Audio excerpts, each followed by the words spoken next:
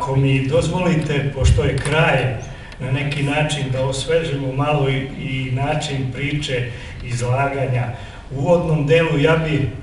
ovaj, počeo to moje uvodno izlaganje od jedne konstatacije profesorke Marije da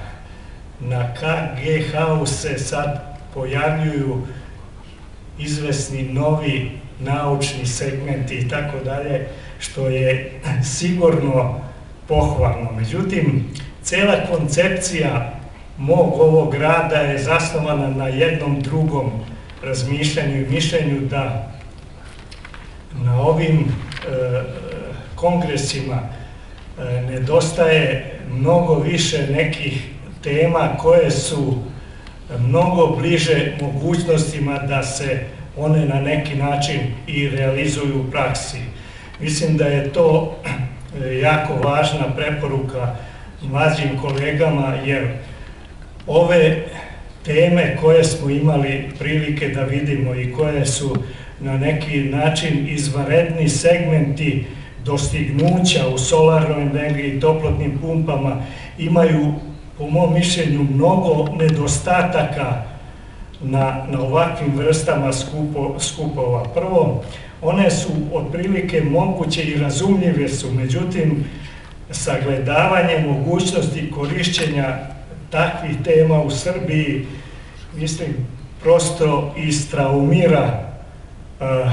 neke ljude koji uh, razmišljaju o realizaciji takvih projekata. Znači, moja tema je korišćenje e, komprimovano, znači korišćenje prirodnog gasa u onim područjima gde ne postoji po bilo kakvoj osnovi da se taj gas koristi. Znači, ili nije stigao gasovod, ili veliki su brojevi da, da su gasovodi stigli do gradova, a da e, neki potrošači nisu u mogućnosti zbog razno raznih e, slučajeva, uglavnom zbog imovinsko-pravnih odnosa, da se priključe na, na, na prirodni gas. Znači, ovo je tema da se e, taj prirodni gas proizvodi tako što ga na jednom mestu komprimujemo, ova, je, ova moja tema je, je komprimovanje prirodnog gasa od jedne firme naše domaće u Pančevu koja se zove Bedem. Znači imamo e, jednu, jedan proces koji je na dohvat ruke, znači da se priključimo na, na gasovod, jedan koji bilo magistralni gasovod, ovo postrojenje vam ovako izgleda, da taj, e, taj komprimovani prirodni gas, znači ubacimo u, u, u,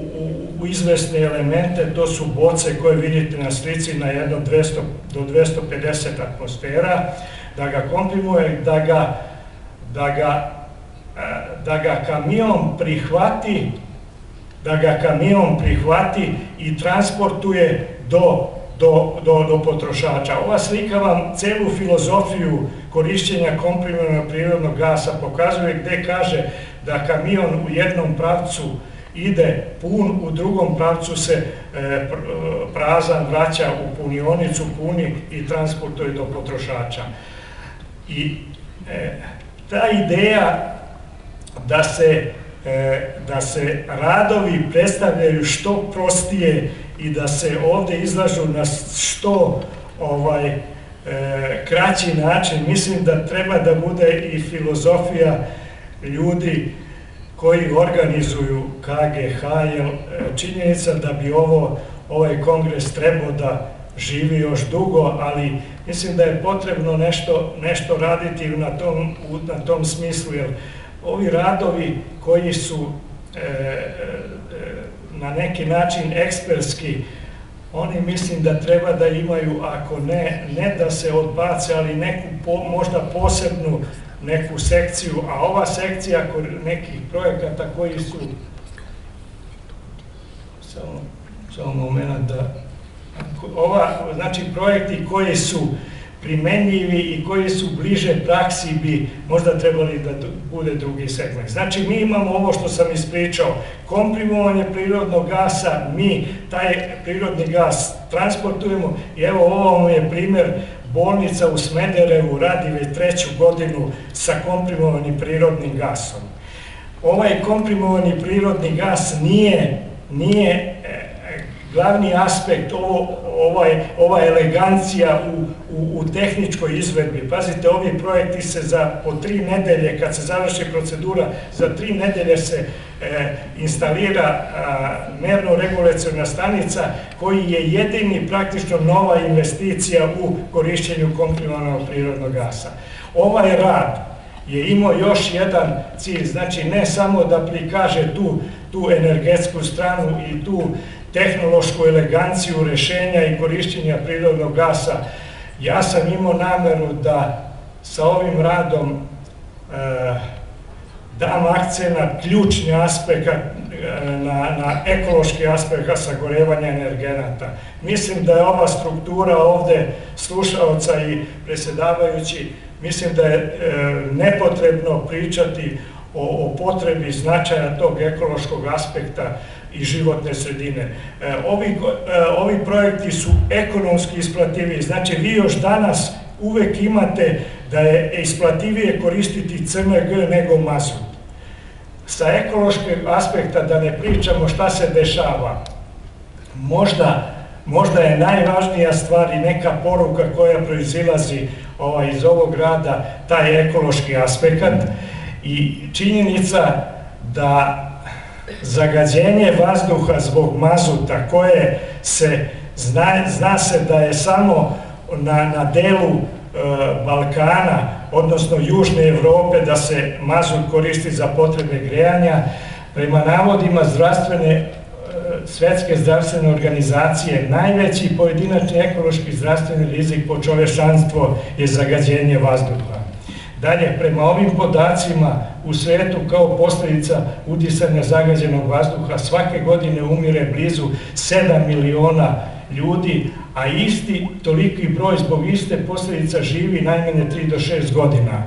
Ima, pazite, to su sve zvanični podaci u Srbiji kao posljedica zagađenja vazduha prerano umre oko 5400 ljudi. I onda imate nešto što je glavna poruka ovog rada, E, mislim da inženjeri, ovog, pored ovog što je rečeno, mislim da inženjeri jako lako prelaze preko, ne samo preko ekonomskih pokazatelja ovih projekata koji, koji rade. Videli ste ovi svi, svi, svi ovi izlagači i svi ovo što je izlagano, tu, tu je suština načina koje to deluje. Redko da se kaže toplotna pumpa za zagrevanje jedne kuće, za zagrevanje zgrade košta investicija toliko i u odnosu na grejanje na drva ili na električnu struju, to je ušteda tolika. Takvih projekata ste redko imali, ja nažalost zbog vremena mogu bi vam pokazivati ovaj korišćenje prirodnog gasa u, u, u ovom mom, u mom radu je sagledalo sva tri aspekta sagorevanja prirodnog gasa, a ključna stvar je znači da da se iz rada shvati i da imamo znači jednu isplativu investiciju, a imamo sa druge strane jednu glavnu poruku i konstataciju da je najveće ovo zemaljsko blago biće čist vazduh, čista zemlja i čista voda zdrave biljke, zdrave životinje i zdravi ljudi. I onda ona čuvena poruka poglavice jednog i nismo prirodu nasledili od naših predaka, već smo je pozadnili od naše dece. Znači to je to glavni poruke su ovog rada i eto hvala vam na pažnji i hvala predsedavajućima što su ovo omogućili da ne znam koliko je prošlo. Ne, u redu je, u redu je.